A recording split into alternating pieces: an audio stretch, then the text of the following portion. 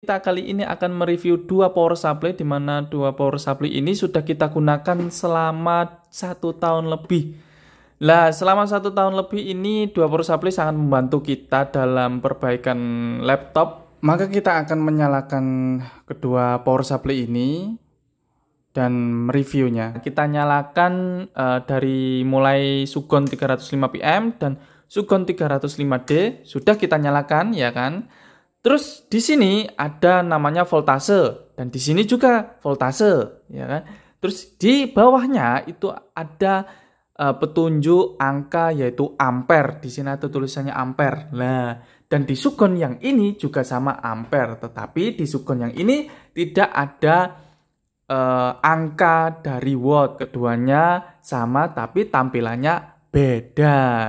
Nah, terus di sini ada potensio juga yang berbunyi titit di sugon yang 305 pm itu ada uh, bunyi titit ya kan? Kayak kayak beb gitu. Terus dan di sugon 305D itu sama juga.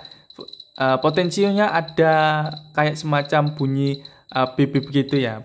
Denger nggak? Lah terus di bawah potensio dari voltase tadi uh, ada yang namanya mengatur tinggi rendahnya ampere. Nah, ini kita ketika kita tinggikan otomatis ampere akan e, menjadi besar sesuai dengan kebutuhan kita. Untuk tombol M1 ya kan M2, M3 atau M4 dan sugon e, 305D, M1, M2, M3 dan M4 ini semua tombol-tombol itu berfungsi untuk menyimpan sebuah voltase yang akan kita butuhkan nanti. Sama persis fungsinya di Sugon 305 PM dan di Sugon 305D. Itu sama persis. Lah, menyimpan itu dalam maksud apa sih? Menyimpan dalam maksud gini, ketika kita membutuhkan 5 volt ya kan, kita simpan dengan menekan lama. Lah, ketika 12 volt ini sudah kita gunakan tetapi untuk modul berikutnya atau untuk keperluan kita berikutnya membutuhkan 5 volt, maka kita tidak perlu untuk memutar sebuah potensial voltase. Cukup menekan tombol M1 karena kita sudah menyimpan uh, tombol M1 di 5 volt. Ini adalah fungsinya, oke? Okay? Dan sama di Sugon 305D itu fungsinya sama ya kan? Fungsinya adalah menyimpan sebuah voltase agar kita tidak perlu capek-capek untuk memutar dari voltase potensio kedua sugon ini. Nah, oke, kita masuk ke dalam tombol orange ini. Nah, kedua power supply ini terdapat tombol yang berwarna orange yang ada tulisannya C ONT, OSP, dan ONS, OSP. Yang ini terdapat tiga tombol, tetapi yang ini cuma terdapat dua tombol. Itu gunanya untuk apa? Kita langsung praktekkan aja. Kita uh, lepaskan kunci dulu. Ini juga sama, lepaskan kunci dulu dengan menekan tombol lama. Lah, eh bentar, salah. Oke, okay? kita shortkan ini yang kita gunakan di sini. Katakanlah sini aja dulu ya. Di con con ya con OSP lah gunanya untuk memproteksi ketika ada short. Contoh gini ini sudah kita tancapkan kita konsletkan nah si power supply ini sudah memprotek dirinya sendiri agar tidak mengalami kerusakan di dalam komponennya Sugon 305 PM ini. Oke, di One OSP ini juga sama, dia protek banget. Dia memproteksi dirinya sendiri, caranya sama. Cuman yang ini harus dimatikan terlebih dahulu, baru dihidupkan. Ketika sudah dihidupkan, dia bisa digunakan lagi. Terus yang ini sama juga, sama seperti yang ini. Tidak perlu kita terangkan karena yang ini sudah kita uh, terangkan. Sama, cuman dia tidak uh, terdapat tiga tombol. Yang ini CCW, ini digunakan untuk menembak sebuah komponen ya menembak sebuah komponen di mana sebuah komponen uh, contoh katakanlah kalian servis uh, HP gitu ya yang short atau yang uh, terbakar gitu kan ya contoh katakanlah kalian uh, memperbaiki lagi memperbaiki komputer atau laptop yang mesinnya rusak HP yang mesinnya short gitu ini dapat menembak uh, apa ya bahasa teknisi itu dapat menembak komponen yang short. Ya, jadi ketika kita konslet gini, otomatis uh, yang short akan terbakar. Nah, nah, tapi dia nggak akan nganu, dia ada percikan gini. Lah, itu yang short di dalam uh, HP yang rusak tadi itu akan terbakar dengan sendirinya. Sehingga si teknisi dapat dimudahkan untuk mengganti komponen yang short tadi atau konslet tadi. Juga sama ini. Tetapi uh, yang kedua ini untuk fitur nembaknya itu cuman ditekan cons ini terus dia dapat menembak ya.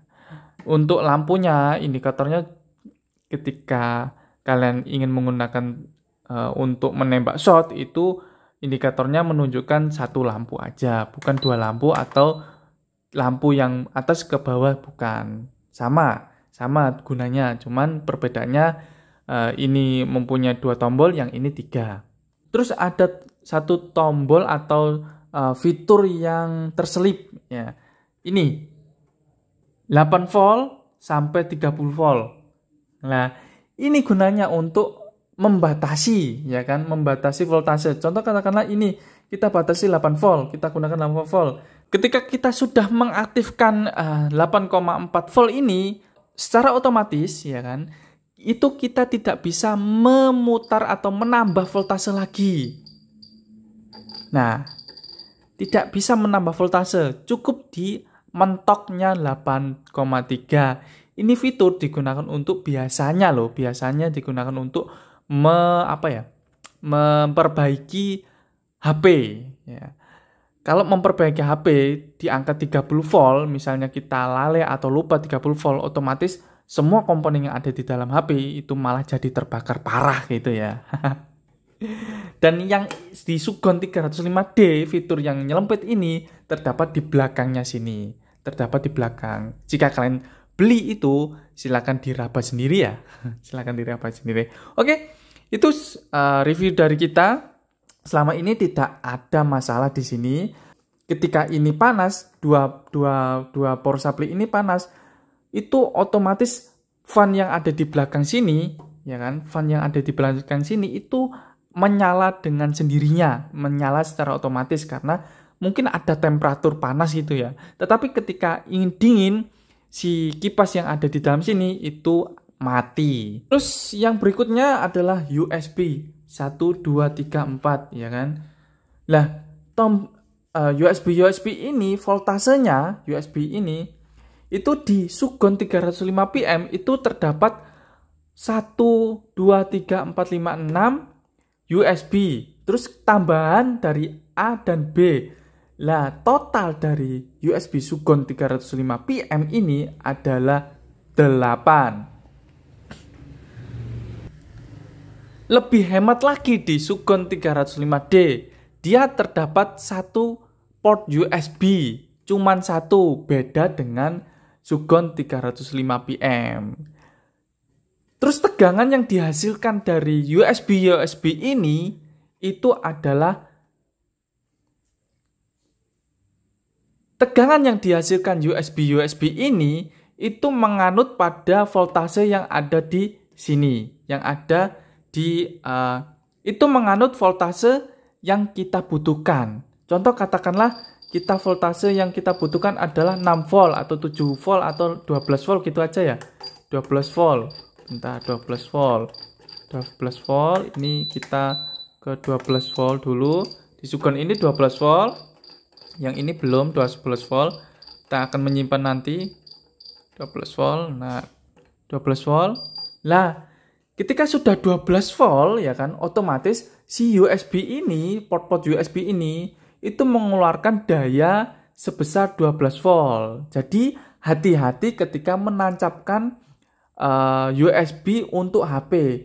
Tidak cocok untuk HP ketika voltase 12 volt. Yang cocok adalah 4 volt atau 5 volt.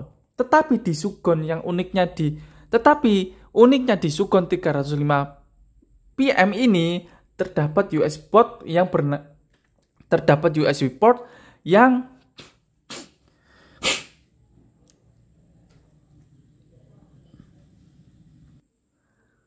Tetapi uniknya di Sugon 305 PM ini ada port yang berwarna orange, ya kan? Orange ini. Lah, port USB yang berwarna orange ini itu defaultnya 5 volt.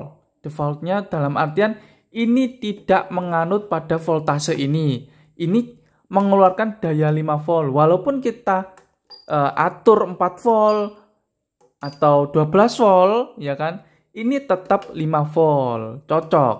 Tapi ini itu menganut di 12 volt yang di Sugon 305D. Dan ini itu tetap mengeluarkan 5 volt. Ini bedanya dari kedua power supply kita yang kita miliki. Ini bedanya uh, dari kedua power supply yang sudah kita miliki.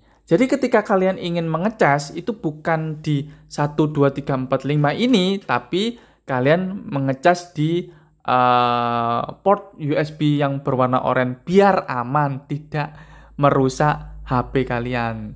Dan ketika kalian ingin dan ketika kalian memiliki hanya memiliki di Sugon 305D itu kalian harus mengatur dulu uh, besaran keluaran dari uh, voltase yang dihasilkan power supply ini yaitu 5 volt ya kan? Agar bisa dibuat untuk ngecas HP ini nih satu ini. Lah tapi kali ketika kalian 12 volt terus kalian tancapkan HP di sini otomatis HP kalian akan meleduk gitu ya. Otomatis HP kalian akan meleduk. Nah mari terus apa mana ya? Kedua belah eh, kedua kedua power supply ini kita akan memberikan beban.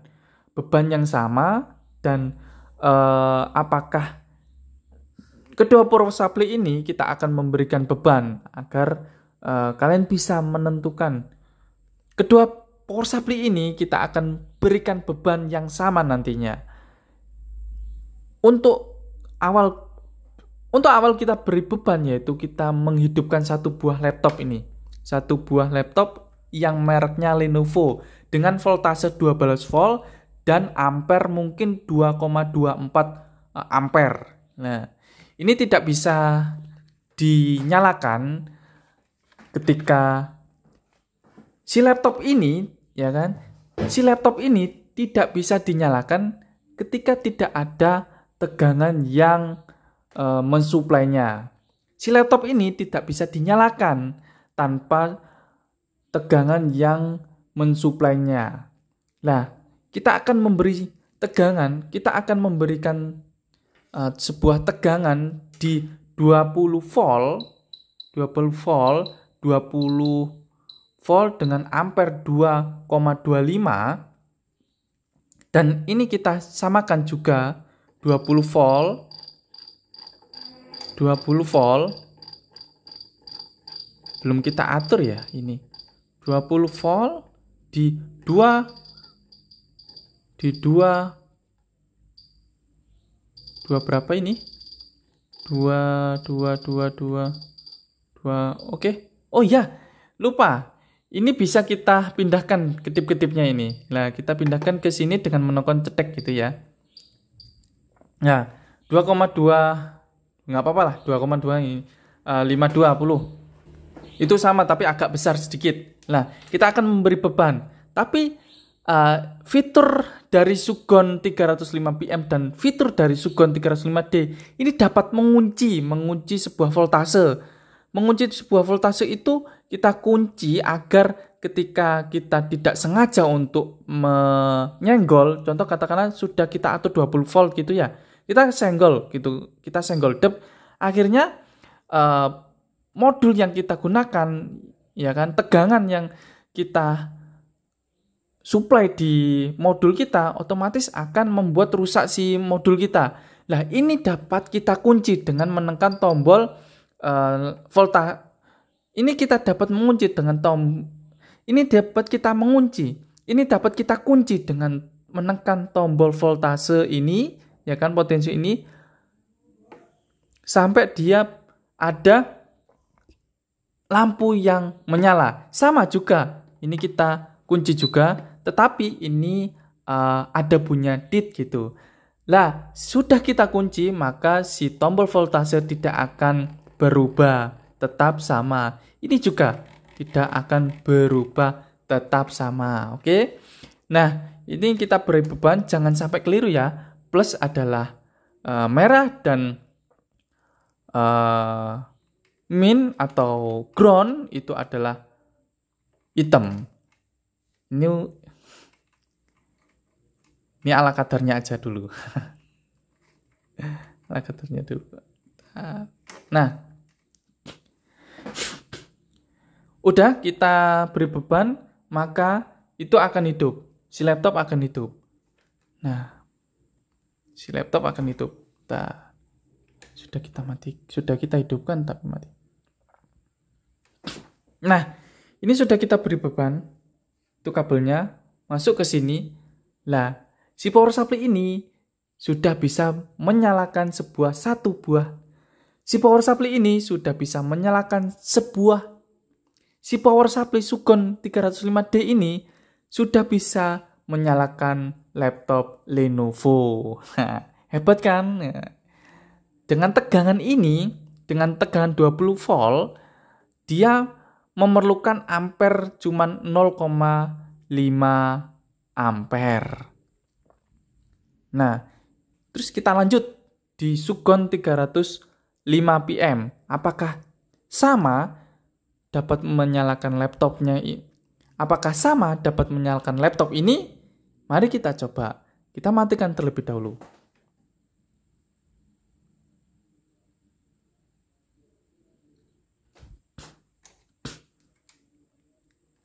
Kita pindahkan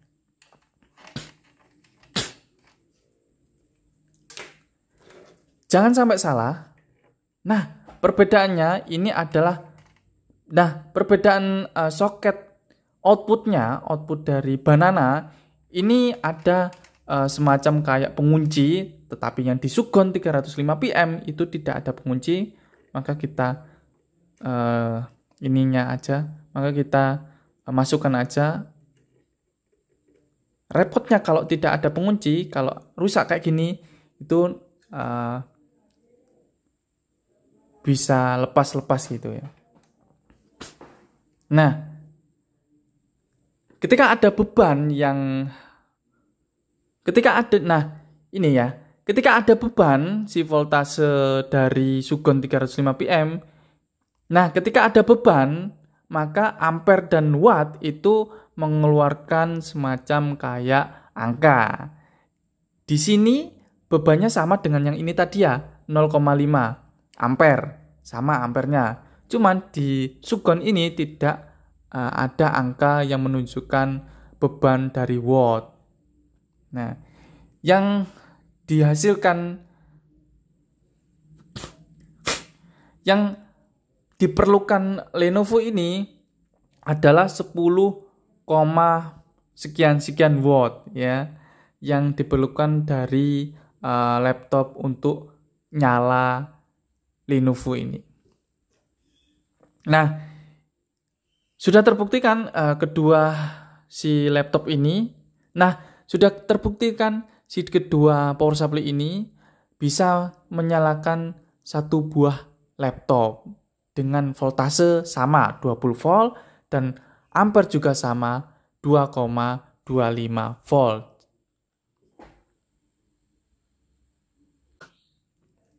Semoga bermanfaat ketika kalian ingin mengalihkan profesi kalian sebagai tukang servis laptop atau HP. Ini adalah review jujur dari kami. Problem IT dan Martek solusinya. Sekian.